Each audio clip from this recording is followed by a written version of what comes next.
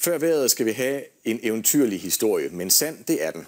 Ganske vist er hovedpersonen en ældre herre i staten Nevada i USA død, men her stopper historien så sandelig ikke.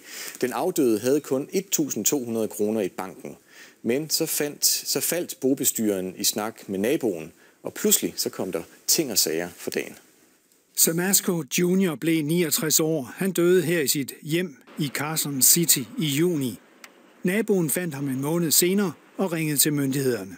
He'd come out in the yard and wave once in a while, but that's as sociable as he got. Da huset blev sat til salg, tilkaldte ejendomsmaleren naboen, for det her krævede et par ekstra hænder.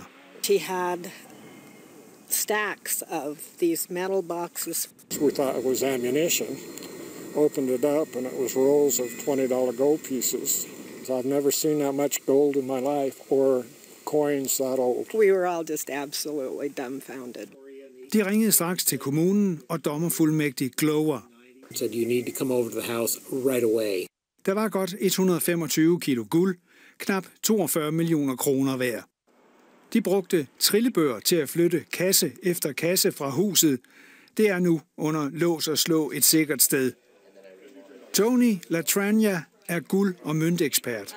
Han siger, at Samasco havde mønter helt tilbage fra 40'erne, altså 1840'erne, og fra Mexico, Østrig, England og Sydafrika.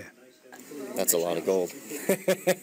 That's a lot of coins. Depending on the condition, can have a premium above and beyond its gold value.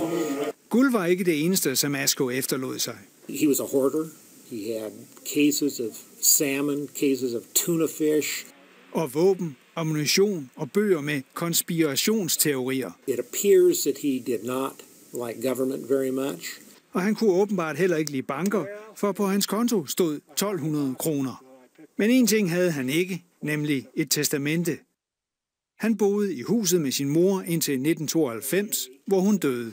Close relative is a first cousin in San Rafael, California.